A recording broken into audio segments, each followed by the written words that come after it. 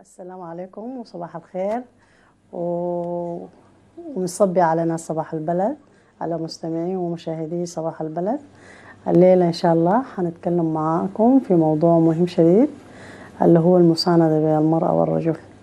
ودارين نشوف نحن واقفين وين من المسألة دي. اللي هو المساندة بين المرأة والرجل إنه المرأة العاملة أنا بتكلم بالتحديد عن المرأة العاملة لأنه إحنا بالمناسبة الراجل ده سند لنا في أي شيء.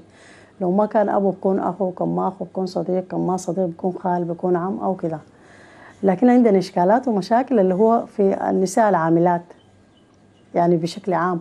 دائما بيشكوا في إنه مثلا والله زوجي قال لي خلي الشغل والله يا أخوي قال لي الشغل بتاعك ده ما جايب حقه والله يا أبوي قال لي الشغل ده كده فيبدو إنه المان ما زال نحن عندنا بعض ما كل الناس لكن ما زال إنهم عندهم وجهة نظر في عملنا وفي شغلنا وكده نحن دايرين انت اذا تزوجت واحدة وزوجة عاملة المسألة دي بتنصب في إطار انك انت حتستفيد من المسألة. ما أقصد الفائده المادية عشان ما تفهم غلط.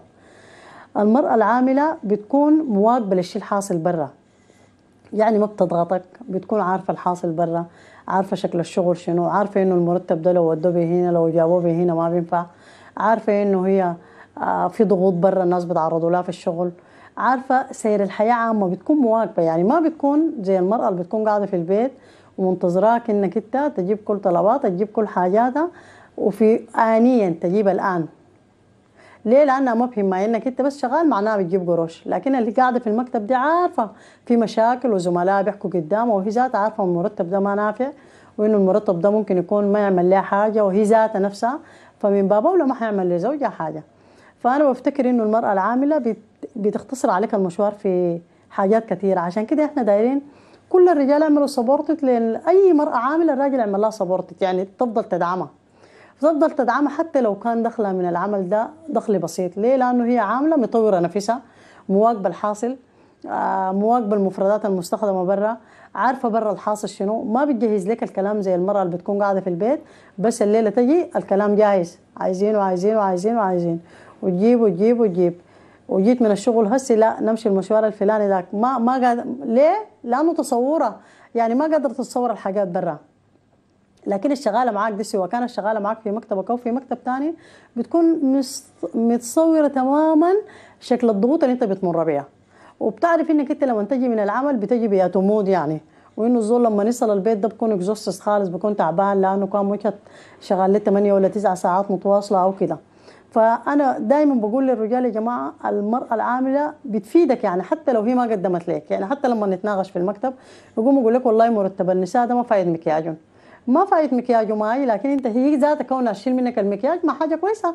ما أنت كان ممكن تدفع قروش المكياج دي المشكلة وكان ممكن تتطالب بها ولو ما جبتها ممكن يحصل مشكلة.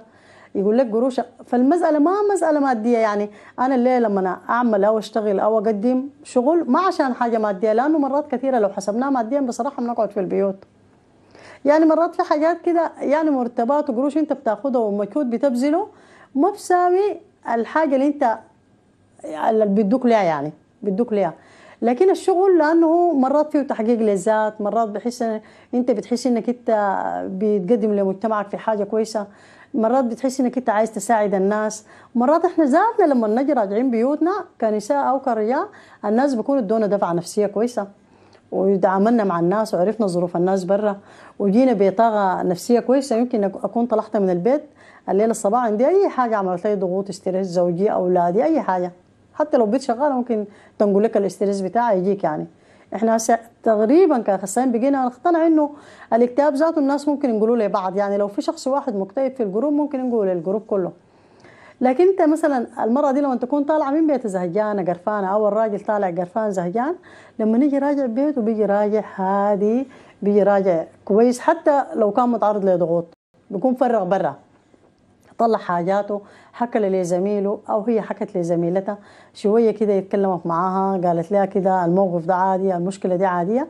الناس بيجوا راجعين وهم مفرغين يعني زي ما بقولوا ما زي لما يكونوا قاعدين في البيت وأنت طلعت وخليت المشكلة تجي راجع تلقى المشكلة مع زوجتك. تنها موجودة وتنها المفروض تتناقش وفي زمن غير مناسب. ما مرات كثير المشاكل بتكون مشاكل صغيرة بس مناقشتها في زمن غير مناسب ممكن يعمل مشكلة. لكن لما تكون مرتك عاملة بتكون عارفة إنك أنت المفروض تتكلم معاك 200 المفروض تقدم طلبات 200 عارفة حدود مرتبك عارفة إنه المرتب ده ممكن يتأخر ما يدوك من يوم واحد يدوك ليوم 10 يدوك ليوم سبعة. بت... صناديق اللي هي داخلاهم دي بتكون عارفة ماشياهم كيف لأنه أغلب الرجال بيعانوا كمان برضه من فكرة الصناديق يعني مع النساء. فدايرين شنو؟ إحنا دايرين أي مرأة عاملة الراجل يقدم لها مساندة. يقدم لها حاجات. ليه؟ لأنه كمان في حاجة ما منتبه لها الرجال. بالمناسبة المرأة العاملة أولادها بيكونوا مسؤولين شديد. ليه مسؤولين؟ لأنه أنت بتكوني آبسة أو غايبة من بيتك ده حكاية بتاعت 8 9 ساعات.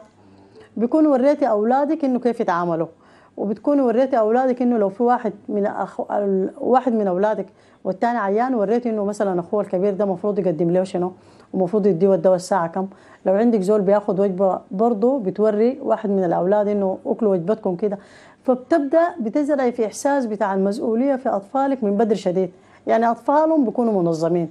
المرأة العاملة بتكون عارفة نفسها إنها حتجي تعبانة وتجي كده بتكون مرتبة أمورها في مطبخها في أكلها في ثلاجتها في حاجاتها بتكون أمورها مرتبة وحاجاتها واضحة ليه؟ لأنه ما عندها زمن عشان هي تقوم ترقد لما ترقد بعد شوية تقوم تعمل كده لا لازم ترتب امورها من بالليل هي عارفة بكرة الصباح المفروض عندها أولاد المفروض يمشوا مدرسة المفروض تكون في سندوتشات ريدي المفروض يكون في وجبة بتاع الفطور جاهزة المفروض يكون وجبة الغداء قاعدة عشان ما أجي من الشغل تعبانه وادخل المطبخ. فحياتهم بتكون مسستمة يعني منظمين. عكسي طبعا ما بنفهم برا. يعني يقوم يقول لك أنا مثلا دائما الرجال يقول لك أنا ما داير لي مرة عاملة. تجي معي في وقت واحد. وما داير لي مرة عاملة عشان أكل سندوتشات. ما قاعدين تاكلوا سندوتشات. كل النساء العاملات بيكونوا جيدات شديد في بيته وده ما كلامي أنا. بالمناسبة دي دراسات اتعملت ودراسات كمان فيها survey يعني عملوا لمجموعة من النساء العاملات ومجموعة من النساء اللي قاعدين في البيوت. لقوا مستوى إنهم هم بيكونوا ready في بيوتهم. أكثر من النساء اللي بيكونوا قاعدين. ليه؟ لأنه ديك عندها إحساس في إنه عندها زمن كثير في أي وقت ممكن تقوم تعمل أكل قبل ما زوجها يجي قبل ما أولادها يجوا من المدرسة. لكن دي بتكون جهزته قبل يوم. وخطته في الثلاجة وورته. لو اتاخرت لأي سبب من الأسباب أو لزوجها ذاته لو عندها أي سبب من الأسباب يعني ظهر لها اجتماع ظهر لها شغل برا ظهرت لها مناسبة اجتماعية. فالنساء العاملات بكون حياتهم مرتبة جدا. ما بكون عندهم مشاكل ما يكون عندهم إشكالات نغير الفهم ده. نحاول نحن ذاتنا محتاجين النساء يعملوا معانا يا جماعة نحن شقايقكم. الرجال شقايق النساء نحن محتاجين نعمل مع بعض نقدم لب... نقدم مع بعض. نحن نضيف لكم وأنتم تضيفوا لنا. نحاول نطور مع بعض. صح نحن مرات كثيرة بنهتم بالتفاصيل والديتيل أنتم ما بتهتموا بها يعني ما بتهتموا بالتفاصيل الصغيرة بتهتموا بواحد زي واحد يساوي اثنين. إحنا كأشخاص مكملين بعض يعني المرأة بتكمل الرجل والراجل بيكمل المرأة. بلاش يتوجد الفهم اللي هو بيكون فهم ما لذيذ يعني إنك انت شغلك حيعمل لك شنو وإنه شغلك ده ما بغطي وإنك شغلك ده كده وإن... لا النساء العاملات بيعرفوا يرتبوا أمورهم كويسة. إضافة للمجتمع إضافة لشكل الحياة ذاتها. في بيتك ذاته حياتك بتكون ماشية على الاتجاه الجيد. أنت بتكون قاعد مع شخصية ممكن تضيف لك كثير من الحاجات. شخصية مواكبة للشارع للبيت للحياة أو كده شخص ممكن هو ذاته يساندك لو احتجت له. لو جات عليها ظروف الزمن هي ذاتها بتقدر تشيل بيته وبتقدر تغط حركة الحياة. فدايرين نحاول بقدر الإمكان نسند زوجاتنا ونسند أخواتنا ونسند كل الناس اللي بنعرفهم ولو في أي طريقة تفكير آه اتجاه العمل المرأة أو شغولها أو كده نحاول بقدر الإمكان آه بقدر الإمكان إنه نغير المسألة دي.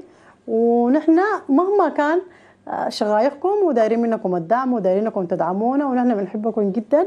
وإن شاء الله نلاقيكم في حلقة جاية.